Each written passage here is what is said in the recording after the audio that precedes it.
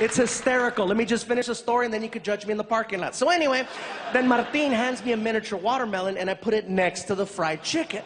Here's where it gets interesting. Employees of the store find out what we're doing and they start volunteering to help us finish the basket. Half of the employees were black, which made it so much more accurate aisle after aisle, aisle. One guy was stocking a shelf. He was an older white guy, and we're like, Sir, can you help us? What do you need? My buddy Martin and I are trying to make this messed up racist gift basket for our black friend as a practical joke. Can you think of something we can put in there? Without even blinking an eye, the guy was like, Ah, you gotta have Kool Aid. It's at the end of the aisle on the right. Malt liquors and XL over in the back of the store in the freezer section. It's on sale two for one. By the time we get to the register, all these different employees plus us came up with a basket that had fried chicken, watermelon, Kool-Aid, grape soda, barbecue potato chips, sunflower seeds, an ebony magazine, a Chris Rock DVD called Bigger and Blacker, Magnum condoms, Newport cigarettes, a rack of ribs, the recipe for cornbread. It was getting bigger and bigger and bigger and bigger. Icing on the cake, we find a greeting card that's on clearance from Halloween, and it has a picture of three ghosts on the cover wearing sheets. I tear off the half that says Happy Halloween, and on the back of the card, I write, Welcome to Fresno. Love the Chamber of Commerce. and we stick it to the basket. We made it all nice and pretty, and we haul ass to the hotel. We pull up. We walk in. The basket is hot as hell, so I'm racing in. I get inside and I put it on the counter as fast as I can, bro. It's too perfect. There's a black girl behind the front desk. As soon as I put the basket down, I hear.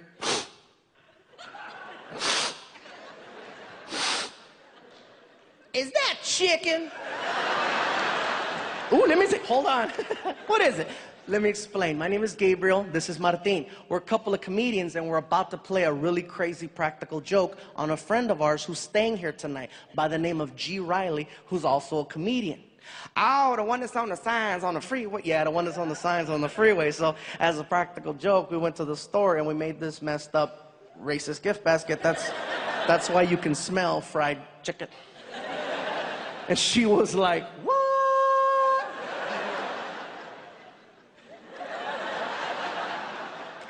You need Jesus, that's what you need. Kiki, girl, you better hang up that phone. You ain't gonna believe what I'm looking at over here, girl.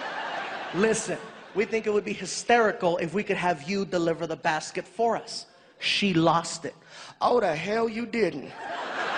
I know you didn't just ask me to take that to a black man. You are out your damn mind. Oh, Lord, Lord, give me the strength to not kill this big ass Mexican over here, Lord. Mm-mm. Uh-uh. Okay, look here, Nacho Libre. I don't care who you are. I am not doing it. Hell no. I'll give you 50 bucks. Where that motherfucker at?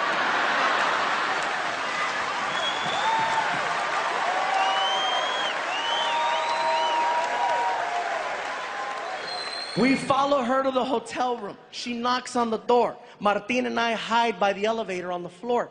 She knocks. She opens the door, sees a beautiful black woman standing there with a gift basket. This is for you, baby. He says, Thank you, closes the door.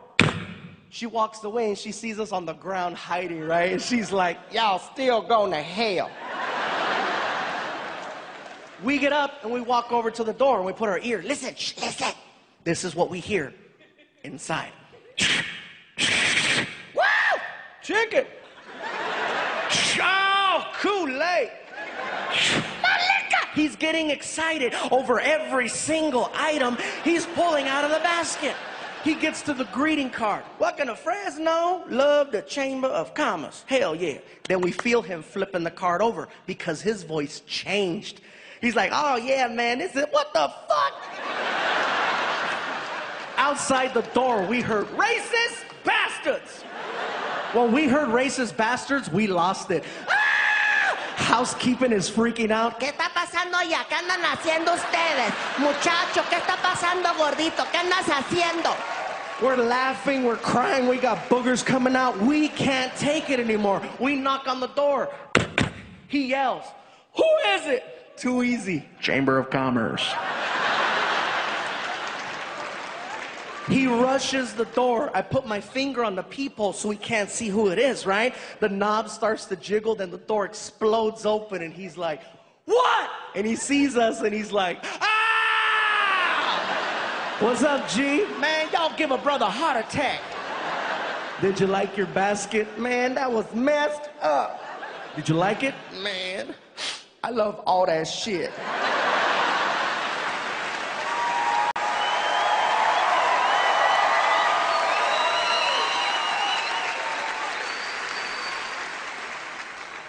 And now, ladies and gentlemen, a story that has been seven years in the making.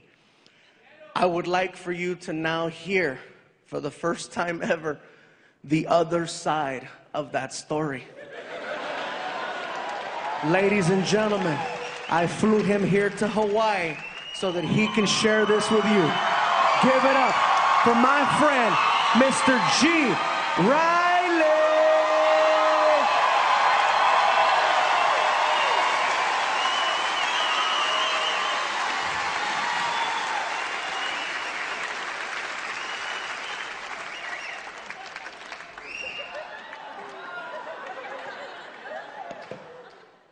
I, gotta be honest, I didn't know it was racist. I thought it was lunch.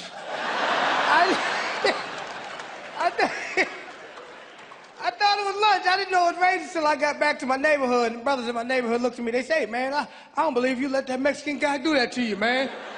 That was messed up. I know you got him back. I said, what, buy him lunch? I can't afford to buy that man lunch. If I, if I buy him lunch, he'll be getting me again. But you gotta understand, it was the perfect set of circumstances when it happened. Because I'm laying across the bed in the hotel. I'd never been to Fresno before. And I wanted something to eat, and I didn't know where to go eat. So I'm laying across the bed, and I'm saying to myself, where could I go eat? I wish I had some food. And all of a sudden, magically, there's a knock on the door, and a black girl shows up with a gift basket. And I took the gift basket, and I said, they know how to treat their comedians up here in Fresno. and I'm walking to the bed, and I could feel the heat and I could smell the chicken from the gift basket. And I'm like, oh, this is cool. Because nobody smells chicken and thinks of racism, right?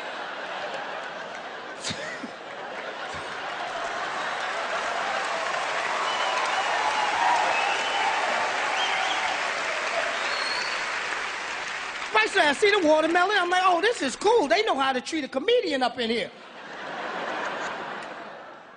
I get to the card and I look at the card and I go, what the fuck is going on? I said, oh my God, I'm working for the Ku Klux Klan. and